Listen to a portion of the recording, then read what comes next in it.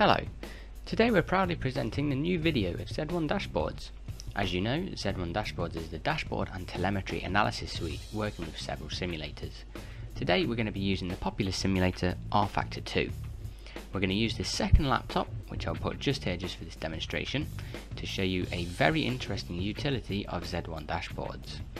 This utility is the access onto the telemetry and dashboards from a remote computer. To do this, we must have installed the software Z1 Server onto the same computer in which we are running the simulator. This software is responsible for sending the data to other remote computers in which we have installed the Z1 dashboard. Here, as you can see, I have already installed Z1 Server onto the computer which I am going to run the simulator. When you launch Z1 Server, you will see a very simple main window with only 5 lines of information. Now we are mainly going to focus here on the last two lines, which is the IP address and the port number, both of which have been highlighted on your screen. We are already running the Z1 dashboard on the remote computer. Now within the general settings window we need to place the IP address and the port number which are shown within the main window of the Z1 server. With this done we have the Z1 dashboard running and connected remotely.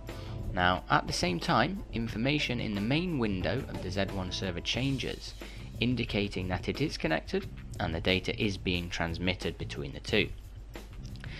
Now we are launching the simulator and we can already work with the Z1 dashboard on the remote computer. We can choose the dashboards or we can change any configuration exactly like when you operate with the Z1 dashboards on the computer of the simulator. Another feature that we want to show you here is that entering in the Z1 server settings window, it is possible to activate the joystick or wheel of the simulator and you are able to assign two buttons to navigate in the Z1 remote dashboards panels. And we have all done. Now, what we can do is we can go to the track and use Z1 dashboard remotely. We can change the remote panels with the buttons we just assigned. With rFactor 2, we can use more features of Z1 dashboards than with other simulators. For example, rFactor 2 generates more output data for Z1 dashboards than that produced by iRacing.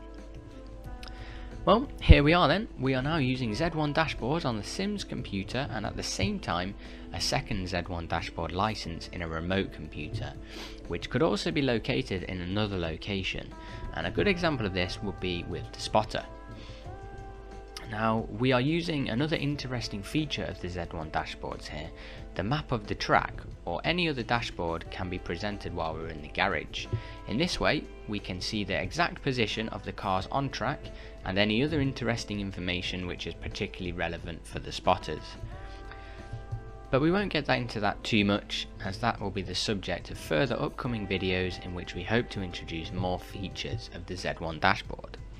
Now last but not least, we want to announce that Positive Sim Racing has edited and published a Z1 Dashboards user manual in Spanish.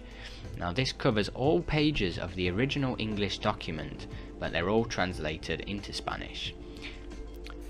Lastly then, we hope that you enjoy and improve your results with the Z1 dashboard, and happy racing. Goodbye.